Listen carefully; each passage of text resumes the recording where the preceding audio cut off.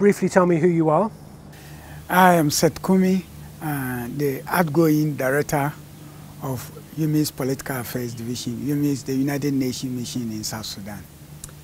So, just in a few words, where are we now in South Sudan on, uh, in terms of the security and political situation? Well, both are complex. Uh, the political situation is complex. Mm, we are currently having uh, a transitional government of national unity that was established under the peace agreement that was concluded in uh, August 2015. But unfortunately, in July 2016, there was a conflict um, between the president and the, uh, what I would say the bodyguards of the president and the former vice president. So there was a transition. The former vice president was forced to leave town, and his uh, minister for minerals became the new leader of the uh, armed opposition. So we are now split. Uh, those outside the country do not recognize, the opposition forces outside the country do not recognize uh, the current transitional government of national unity. And so there is now an attempt to revitalize the whole peace agreement that was concluded in 2015 to bring new stakeholders, new actors that have come into place uh, uh, since the July crisis. And with all the efforts towards peace, the security situation still doesn't seem to be improving. In fact, as we enter the dry season, it seems to be getting worse. Yes, it's not uh, really. There's been engagement uh, between pockets, not serious military type of confrontation.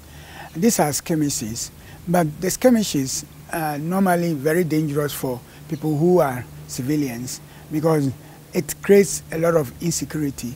And they've been confined mainly outside Juba to the margins of the border areas between Uganda and Ethiopia. And so these border areas where we see most of the fighting. Then also in the unity state where the forces of the former first vice president and the current first vice president have been having some skirmishes. So uh, it has created a sense of insecurity, especially when you don't have control over those forces. They're not both are, you have so many loose military uh, engagements that there's no central control. You know all the political movers and shakers. Can you think of one person or a group of people who are going to turn this situation around? I think all the political leaders, those who fought in the liberation war, uh, these were people who fought for nothing. They sacrificed, but they had a common enemy, that is Sudan. So when they gained independence, the institutional structures of a modern state were totally absent. They didn't have a national army, they didn't have uh, a national identity. They didn't have national institutions, particularly the judiciary. So uh, the power struggle among the political elite, uh, they were not able to manage their diversity well. So this is what the key political figures from the president, mm, uh, who was uh, became the leader of the SPLM and SPLA after the death of John Garang in 2000, to all the members of the political bureau, and uh, the leaders of the SPLA. So they all have to come together to place the interest of South Sudan above their own. Can, do you think they'll do that? Uh, do, do, we have the right leaders in place to do that? They don't have any option. They are South Sudanese and this is their country. It's and not uh, a very positive uh, no, position. No, it's, it, it gets to, for me, I see they've run out of options. they just, uh, South Sudan can't have this brand name uh, such a name that is synonymous with conflict, with destruction, with corruption, and then expect foreign investors. There is more, this is a modern era where we, the global system is uh, interdependent. And if you are not ready to participate in the global economy, how are you going to help your people? And being head of state, uh, being a leader, it also entails some responsibilities. And they have a, a responsibility to their own people. You've been in this country, well, South Sudan and previously Sudan for, is it now 11 years? Exactly, 11 years. Does anything surprise you about South Sudan uh, after all that experience here? No, one thing that I've argued over and over is that there is nothing like South Sudan exceptionalism. That the conflict in South Sudan is not unique to South Sudan alone. And I, sometimes when I, I take my intellectual roots from history, so I go back as far as uh, the history of the Peloponnesian War written by Thucydides. When Athens and Spartan fought, they also had a common enemy, Persia. When Persia was removed, there was envious of the among the leaders competition. So they fought. What is different from the current crisis? Sudan was no longer the common enemy. They fought among themselves. They were not able to manage the political struggle, uh, the infighting for political power. This conflict is essentially a struggle for political power. That and money. Well, every in, in African politics, uh, politics is the only, I would say, the most significant source of wealth. So if you are fighting for political power, it's fighting over the control over the nation's resources. The question that I keep asking myself that I've been here is that why don't they all fight uh, to establish their own parties and sell the economic or political agenda on how they can bring the country together? How, what are the integrative mechanisms for providing uh, a national identity? How are they going to rebuild an economy that is, has been shattered completely? So the question is, why are they now fighting to lead the SPLM? Because it is the Liberation Party, and in Africa, Liberation parties don't leave power easily. You're, you're a big advocate for South Sudan. Why is that? Because I believe South Sudan will rise again. And this country has tremendous human and natural resources. Look at the land that has not been uh, cultivated. And now we have, what, category 5, phase 5, I don't know how the uh, humanitarians call it, people who are hungry. When do you have one of the most youthful populations, the average age for South Sudan is 17. It's one of the most youthful countries in the world. Ah, you have a very educated population. And then you also have natural resources, minerals, oil, water, all these natural resources are there. The only thing that is missing is peace. And that is the missing link. And I believe ultimately they will have peace. The political leaders have hit rock bottom. There's nothing more they can do but to be responsible and take uh, uh, responsibilities for their actions and bring South Sudan back to the uh, durable peace. Then they will unlock all the potentials, human and natural resources, and that's why I'm, I'm optimistic. What disappoints you about South Sudan? It's the leaders. I'm, these are people who fought for nothing to liberate their country from Arab colonial rule. Then why are they practicing the same sort of, why are they fighting among themselves for power? When uh, they, they, see the, we have what, 2.1 million people who have been displaced from their own country, a country that sought independence. Then we have 1.8 um, 1.8 million who are internally displaced, including what, 215,000 in the UN camps. This is huge human resource that is not being used. And we're spending, remember, we're spending, mm, because of all this humanitarian crisis, the humanitarians are asking for $1.8 billion. And how much, you know the budget of South Sudan? 300 million.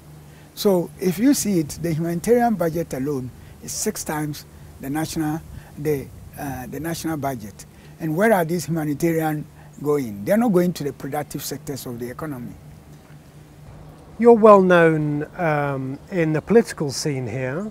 Uh, you're in and out of the ministries all the time. Everyone knows you. Do, you, do, do you tell those leaders that you're disappointed with them? Yes, behind the scenes. And, and what's their reaction? Have you told the president that? No, I've not met the president uh, since uh, 2013, and uh, that was in a, a, group setting. So, what South Sudanese are I, people who are very, very friendly and warm when you meet them one on one. Uh, today I met the Minister of Information, uh, Honorable Michael Makuei. I call always refer to him as my senior brother. Anytime I go, we have a disagreement. I go behind the scenes and tell him, uh, Honorable, this should not have been done. And I always, whenever I meet them beside, I said, I make a joke about them. I said, ah, if you people cannot rule, shall we bring the British back? And I've made this point to you sometimes And you what, laugh. and what do they say? Do they think that's a good idea?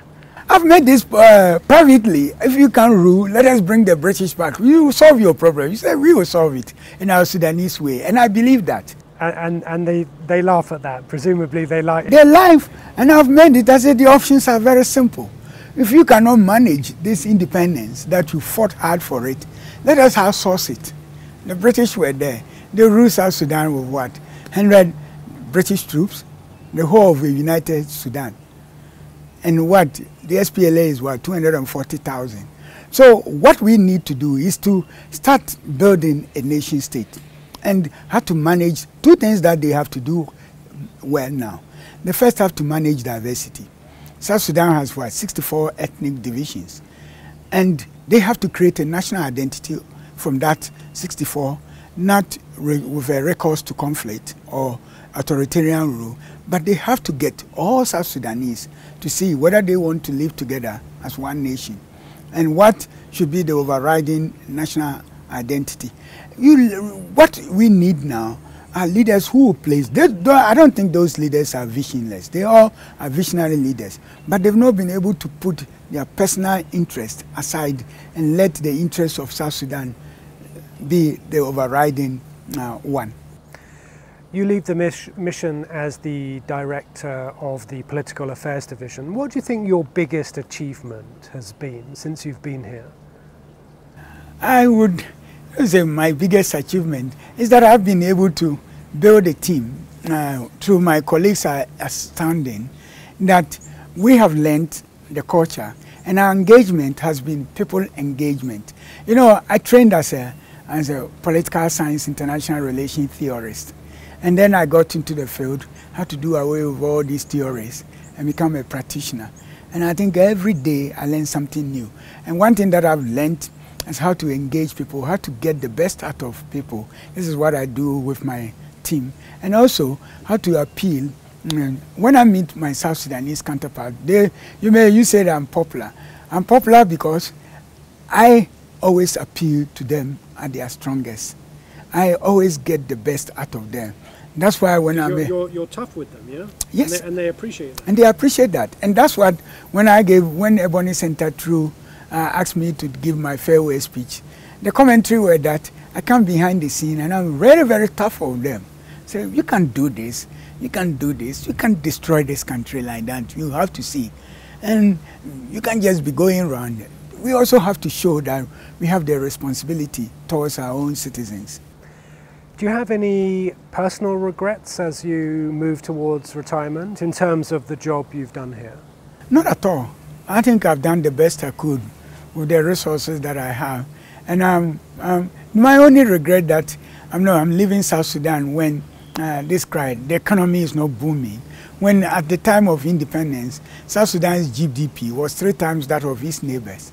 But now, when, I, uh, when they gained independence, the South Sudan pound was one to two to one US dollar. I'm leaving now, and the pound is eight, uh, 180 to one US dollar. So you could see that if you were mm, uh, uh, you were earning like 180, that means you are earning uh, one dollar.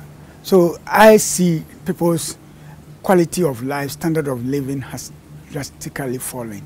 And I believe that they have to come back, become part of the international community, have tradable commodities that they will be able to sell to bring the world. Their greatest asset is not the oil, it's their human resource. And they have to start a process where they, what are the integrative mechanisms available to the political leaders? First, they have to place the interests of the country above their own, establish peace, an inclusive political process, then unlock the potential, a very good educational system, hospitals, all the, an infrastructure to link communities. This is my dream for South Sudan, and I have, I'm very convinced in my heart that they'll be able to achieve this. So you're just about to retire. What happens next week if you get a call from the president's office and he wants you to come back as a, as a senior advisor? How would you react to that? I think I'll take it and I'll tell the president, now I can talk to you behind the scene. And that I don't need to be a UN official with a, a card on all the restrictions. And I will talk to him and say, "You have, how do you want to be remembered?" As somebody who built the economy, and whether history will be kind to you. And I'll look him in the eye and say, Mr. President, let history recognize you as the one who was able to bring durable peace to South Sudan, the one who was able to place the interest of the country above everybody, mm, above uh, yours, and then you were able to bring peace. And then that is what history will remember you for, and not, not the battles that you won. Is there anything you could say to him as, a, as an independent person that you couldn't say to him as a UN official? A lot, I don't think I. Uh, what I would still say is that the political elite should come together, and I believe there is no military solution to this current conflict. And my reasons are um, that I take my roots from history. If I look at all conflicts that have been fought since the, uh, uh, the battle between Athens and Spartan, the history that uh, Thucydides wrote the history of the Peloponnesian War, there is no military solution. This is a country that is devoid of infrastructure. Remember, in all battles, you have to be able to move troops. So they would not, there is not going to be any outright military victory. What they have to learn and know is that let history be their guide. Let them look back into history and look further and say that, hey, guys, and I think the president is doing that, to be fair. With, uh, I have my own reflections about as I go. There have been a lot of uh, reconciliatory moves from, the, uh, from the president uh, in the terms of the revitalization, which I'm following very closely. Uh, they have agreed to all the proposals that have come in, the 16 points that the IGAD, mm, the 16 points are key areas where they are going to argue. is arguing. So I, I believe that they are South Sudanese. They fought for their country. They, we can't claim that we love South Sudanese more than they love themselves. And we shouldn't think that people, they love their country. They love themselves. So what we need to help them is to find a South Sudanese solution to the current crisis, not an imposition. You're going back to Ghana, you're going to your farm, Yes. How, how do you intend to keep up with what's happening here? Through rumors? Maybe, no, seriously. I still have my, and now we reach the technological age where we can easily get access to information. And uh, I will not be on the UN website, but I still will be in touch with some of the key uh, stakeholders in South Sudan. On my farm, I, am going to grow cocoa and I don't eat chocolate. I think I'm going to, and this is some of the terms of trade that we would like to see change. The average cocoa farmers uh, take, uh, cocoa industry is a multi $150 billion all chocolate, and then farmers get less than 2 billion. So I think I, now I'm going to be an, uh, one of the activist farmers, not to grow a big cocoa farm, be engaged in more activism in the, in the and how to change, cocoa. how to yeah, how to fight for the average cocoa farmer using all the skills of mediation and uh, uh, resolution that I learned in the UN. I think I, I would do fine. Seth, thanks very thank much. You, it's been a pleasure thank to you, work with you. Thank you it's been a great experience. I hope I will get it. That my parting remarks are that South Sudanese need one thing, and it's hope that they will recover again. There is no position that is permanent. This current situation will not be permanent. They will recover. And next time we're talking again, it will be what a great country South Sudan is. Thank you very much.